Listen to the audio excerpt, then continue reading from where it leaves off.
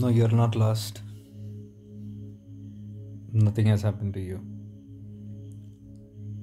It is only that sometimes the healing hurts more than the wounds.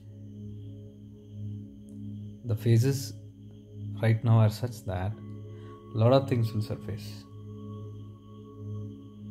And this will go on for a while, especially now since it's Mercury retrograde period.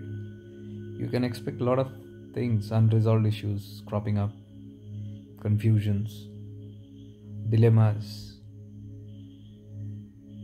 It can seem very horrible. It can seem that life is falling apart.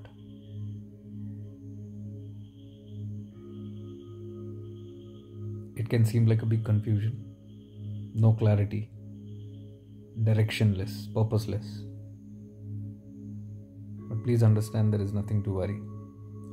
These are only phases of the manthan. Since you have touched fire, Arunachala Shiva, a lot of things will be burnt.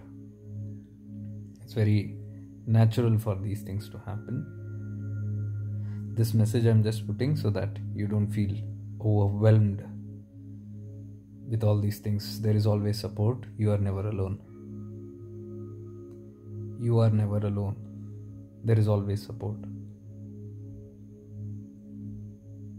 So, what you're doing right now is perfectly fine. Going within, connecting. That's the right place. That is a place from where answers will come. If you are unable to hear it from within, it will come from outside. Universe responds. During such phases of purging and releasing, a lot of things volcanoes, earthquakes, a new cleansing purification happening. Let it go. Just hold on. This too shall pass. I was prompted to make this message at this hour. Remember, you're not alone. No one is alone. Especially the seekers of this path who are on the awareness path. You can never be alone. Remember, we do not even invoke 25, 24 by 7 we are all the time connected. Invocation is done by those who are disconnected. Tune to that.